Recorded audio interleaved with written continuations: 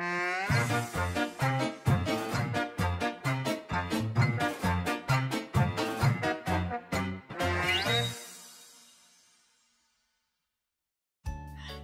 a tutti, sono Giulia e oggi ho un'altra proposta ganza per voi, ovvero come liberarsi dai parassiti delle piante con due metodi fatti in casa, il decotto di aglio e il decotto di equiseto.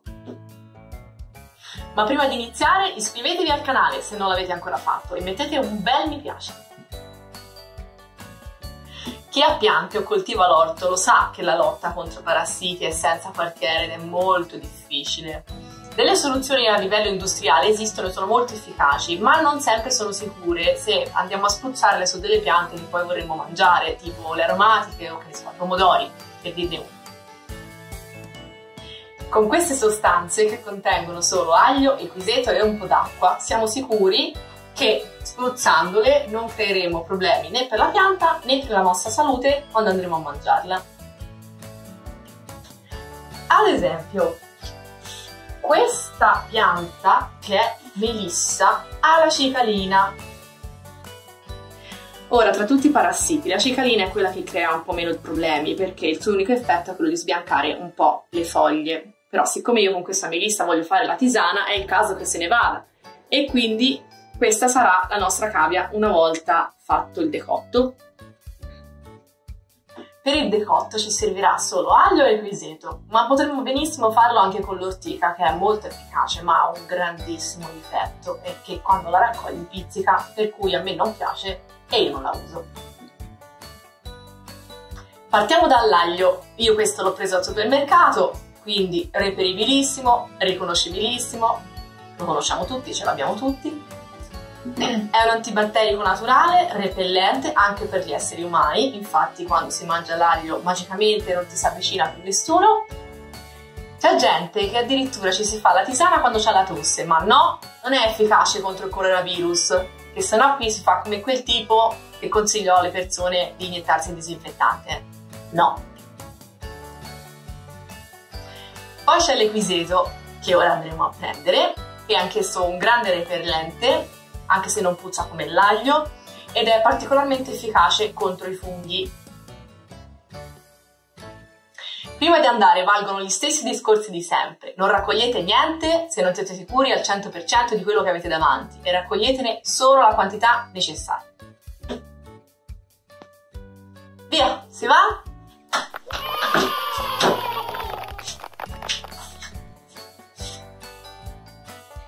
Ci serve l'equiseto arvense, che vuol dire dei campi, che cresce, indovina dove? Nei campi! Per cui facilissimo da trovare ed estremamente riconoscibile con questi ciuffetti tipo ago che lo fanno somigliare a un alberello. Ne prendiamo un paio di apici lunghi una ventina di centimetri. Adesso che abbiamo i nostri due ingredienti, dobbiamo spostarci in cucina per fare il decotto, che consiste semplicemente nel far bollire in acqua questi due ingredienti. Potremmo altrettanto efficacemente fare il macerato, che come dice la parola consiste nel lasciar macerare per qualche giorno l'erba, insomma il verde, nell'acqua. Io preferisco sempre il decotto e consiglio anche a voi di fare questo perché il macerato puzza da far schifo, puzza veramente tantissimo. Il decotto puzza lo stesso, ma molto di meno. E quindi ora andiamo in cucina. Va. Allora, siamo in cucina quindi iniziamo con l'aglio, devo prendere 5-6 spicchi.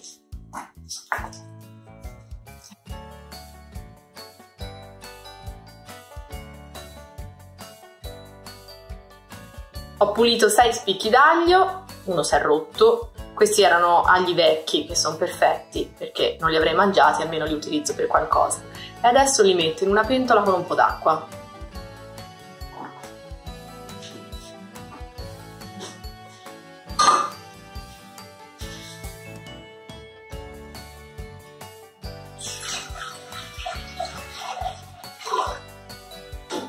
Circa un litro d'acqua. Io di solito vado a sentimento, quello che mi ci va ci metto. E poi accendiamo il fuoco e lo facciamo bollire per una mezz'oretta.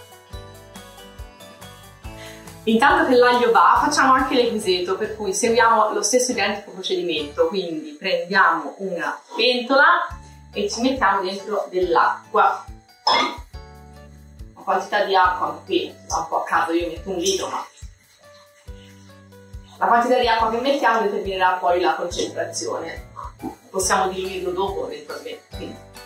E niente, si strappa proprio brutalmente con le mani e si mette dentro. Magari senza sudiciare tutto come ho fatto io. Questo non mi garba, ci metto. Accendiamo il fuoco e facciamo bollire anche questo per una mezz'oretta.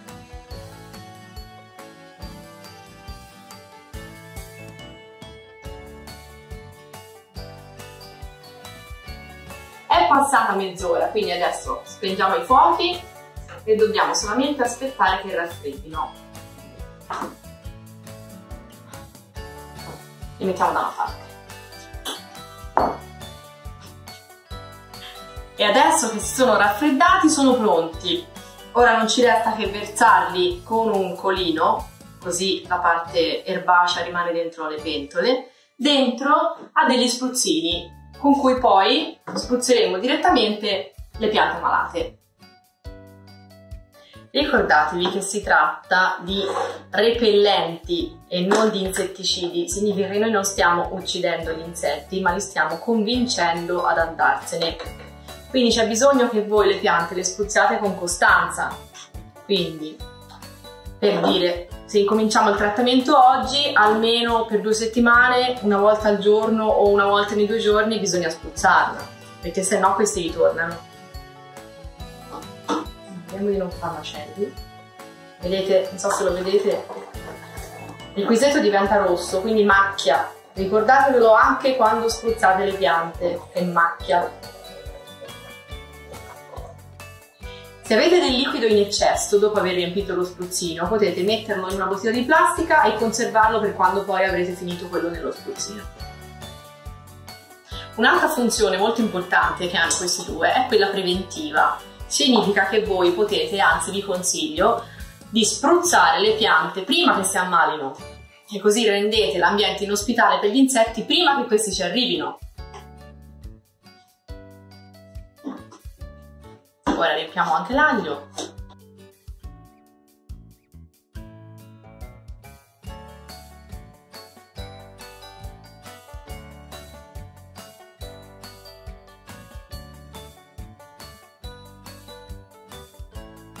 Userò l'aglio perché l'equiseto l'ho già usato e non ho avuto grandi risultati, quindi da una scossa e poi si spruzza direttamente sulle foglie.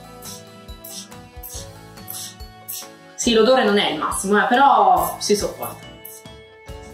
Adesso mi basta proseguire con il trattamento per due settimane e la cicalina dovrebbe essere scomparsa. E con questo si conclude il nostro excursus sugli antiparassitari fatti in casa. Fatemi sapere con un commento se li conoscevate, se li usate e con quali risultati. E noi ci vediamo la prossima volta. Ciao!